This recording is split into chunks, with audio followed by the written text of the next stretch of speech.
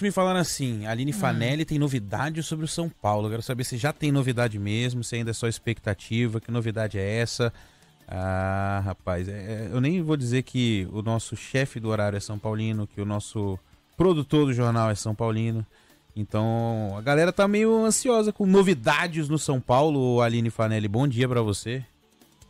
Bom dia, Ivan, Maiara, todo dia. mundo que acompanha a gente aqui na Band News FM. A novidade é que hoje o São Paulo vai apresentar o Marcos Guilherme, que é o primeiro reforço dessa janela de transferências que se abre hoje. Então, a partir de hoje, o Marcos Guilherme pode ser inscrito no Brasileirão e também na Copa Sul-Americana para auxiliar o São Paulo, que vem de tantos desfalques há tanto tempo. O Rogério Ceni vive dizendo que o time tem um elenco curto e isso tem prejudicado com o número de lesões, suspensões. Para quarta-feira, para o jogo contra o Internacional, Caleri e Patrick estão suspensos.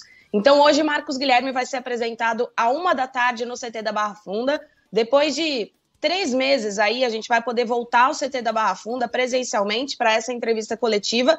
E depois vamos acompanhar o treino do Rogério Ceni, que é aquele treino de representação, então ele não vai mostrar absolutamente nada quem foi titular ontem no empate por 2 a 2 com o Fluminense vai ficar num trabalho regenerativo, mais interno, e aí os outros jogadores vão para o campo e é essa atividade que a gente vai poder acompanhar efetivamente. Então, o que tem de confirmado é o Marcos Guilherme. Na quarta, ele já fica livre, fisicamente está tudo certo, treinando com o grupo.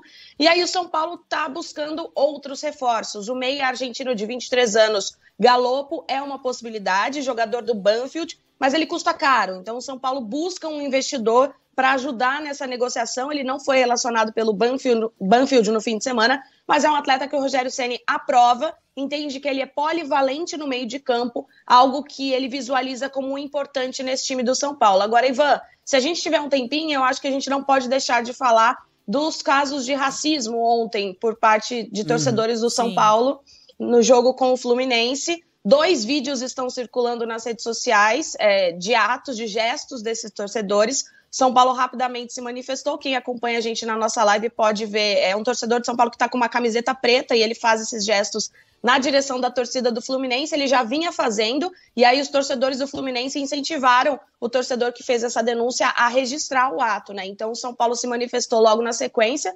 E na semana passada a gente fez aqui na Band News FM uma série especial falando sobre racismo, né? Contando os casos, abordando aspectos históricos, não só no Brasil, mas também no futebol sul-americano. E eu destaco uma frase do Marcelo Carvalho, diretor do Observatório da Discriminação Racial no Futebol, que ele falou para gente que essas manifestações dos clubes dizendo que vão auxiliar as autoridades, elas são importantes, mas os clubes precisam fazer mais. A identificação é fácil, esses torcedores não podem mais frequentar os estádios. Então, além de ajudar nessa identificação, a Polícia Militar diz que vai fazer a investigação, chamar esses envolvidos depois da, da identificação o clube, segundo a própria fala do Marcelo Carvalho, os clubes precisam fazer mais nesse combate ao racismo. Todo pois mundo é. precisa fazer mais, né? Todo é... mundo mesmo. Exatamente. Por enquanto, só nota de repúdio do São Paulo. Queria ver mesmo, era uma.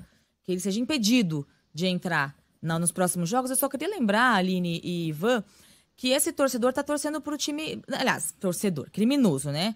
Não deve saber da história do São Paulo, né? Porque as duas estrelinhas douradas da sua camisa, viu, meu amigo?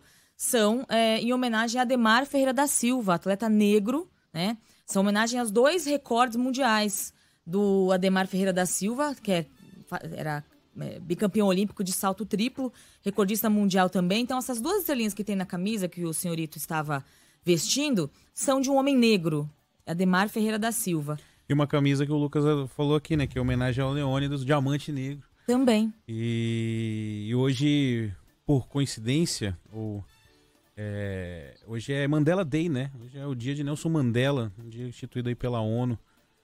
E ele falava justamente isso, né? Que para lutar contra o racismo, ele falou isso na ONU em 1990, é preciso usar todos os meios necessários. Então, quando Exatamente. a Aline fala do clube, a gente fala do clube, a gente tem que falar da CBF, a gente tem que falar da Comebol, nós mesmos, a Band News FM, os clubes, enfim, todo mundo precisa se unir de uma, de uma é, forma mais contundente é para acabar com isso, nós, né? né? É um negócio que, que não é mais aceitável. E, e, é, e é isso.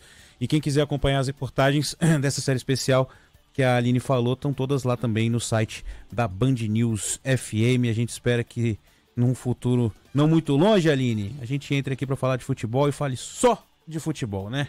Bom trabalho aí para você. Valeu. É isso, Ivan. Valeu. Daqui a pouquinho eu vou lá para o CT da Barra Funda e entro na programação da Band News FM com as informações.